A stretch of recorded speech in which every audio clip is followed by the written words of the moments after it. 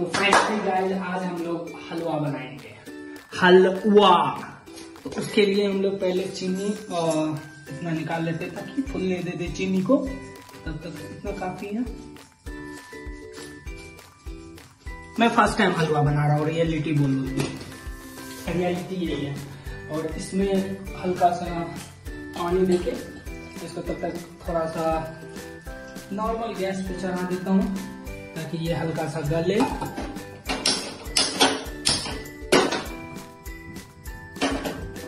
Okay और तब तक हम लोग यहाँ पे आ, हमारा सूजी का क्वालिटी बहुत अच्छा है इसलिए हम इसे छान नहीं रहे हैं। आप अपने सूजी को ज़रूर छान के करें। इसको हल्का सा गर्म होने दें तो हम लोग का पानी ये चीनी वाला पानी जो हल्का सा हो गया अब इसे हम बंद कर लेते हैं। हम लोग इसमें सूजी को तब तक इसको भूंजेंगे जब तक ये हल्का सा ब्राउन नहीं हो जाए। हाँ, इतना काफ़ी।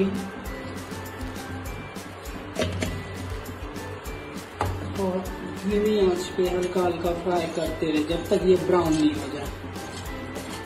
फाइनली गाइस हम लोग का ये सूजी ब्राउन हो चुका है। ब्राउन रंग ब्राउन रंग अब हम इसमें घी डालेंगे हम अपना घी।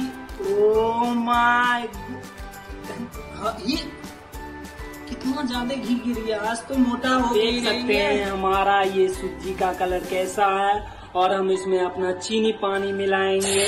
अरे जो अरे घापट भी है ये क्या हो रहा है? तो गाइस इसमें और पानी मिला चुके हैं हम लोग। पता नहीं कितना पानी मिलाना चाहिए हमको पता नहीं आपको लास्ट में बताऊँगा कि खा के कैसा लग रहा है ये। This much is sufficient I think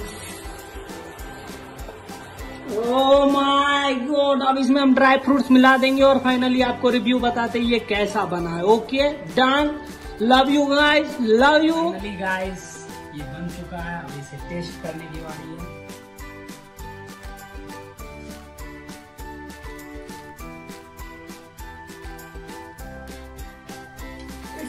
Beautiful, so elegant. It's looking like wow.